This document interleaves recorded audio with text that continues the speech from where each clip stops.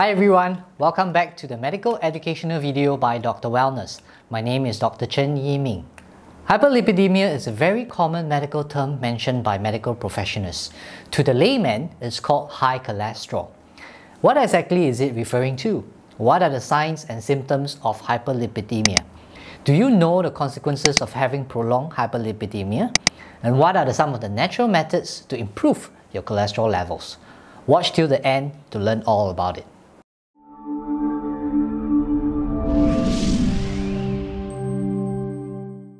Hyperlipidemia is defined simply as high levels of fat and cholesterol in our blood.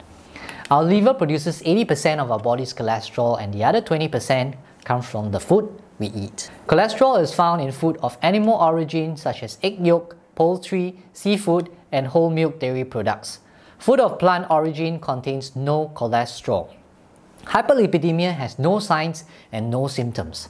The only way to diagnose is through a blood test.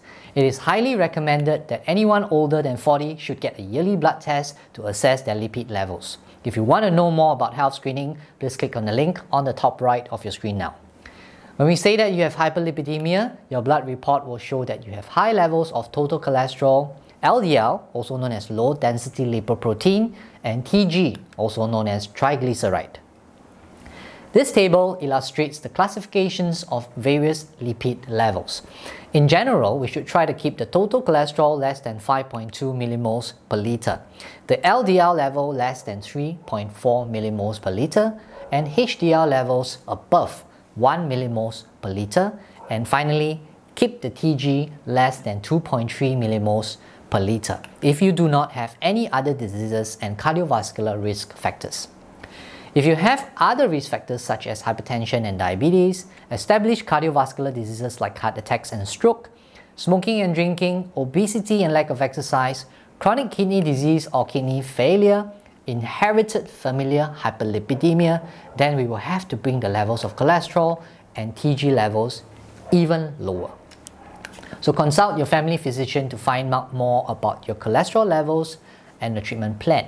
It is highly individualized.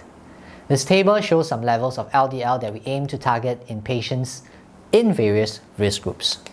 So then the question, what's the big deal about hyperlipidemia?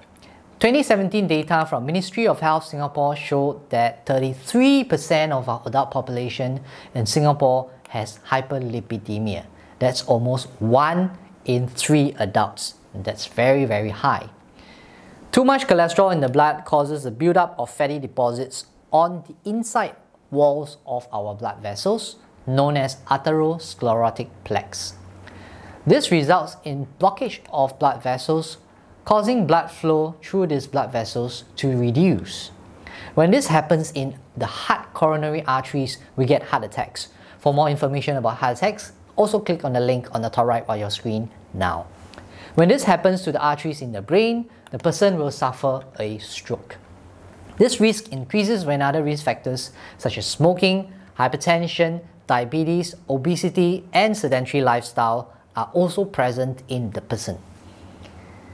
There are natural remedies to hyperlipidemia. A healthy diet is crucial to the treatment of hyperlipidemia. Choose whole grain food such as brown rice, oats, and whole grain bread and noodles. Increase fruits and vegetable intake. Oats, barley, beans, and peas are good in reducing cholesterol. Cut down seafood and animal produce like meat, skin, fat, innards, milk, and milk products. Go for lean poultry and fish like salmon, sardine, mackerel. Choose monounsaturated oil for cooking and eating such as olive, canola, and peanut oil. They are your top choices. And avoid deep fried food as much as you can. Also, please avoid trans fat such as margarine, cookies, cakes, and pastries. Reduce obesity and increase the amount of exercise and physical activity. Controlling your weight to keep your BMI less than 23 will help to lower your total and LDL cholesterol and TG levels. Weight loss strategy involves reducing food intake and increasing physical activity. As a general guide, aim for 30 minutes of physical activity a day for 5 days a week. It's perfectly alright to start 30 minutes for 2 days a week and gradually build your way up. Remember, don't give up. Click on the link above to access the video about the 8 health benefits of exercise.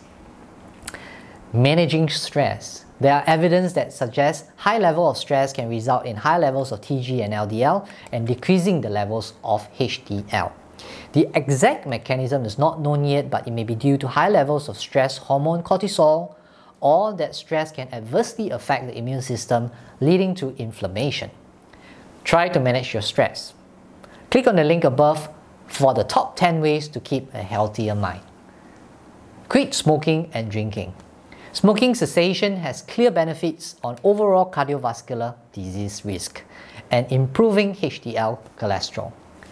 Cutting down on heavy drinking can also reduce your TG levels. So there you go, here's a short video about hyperlipidemia. Recognize that it's an extremely common condition in adults with little or no signs and symptoms. Manage your lifestyle well by modifying your diet, diet and exercise. Go for regular health screenings for early detection and timely treatment to avoid serious consequences like heart attack and stroke.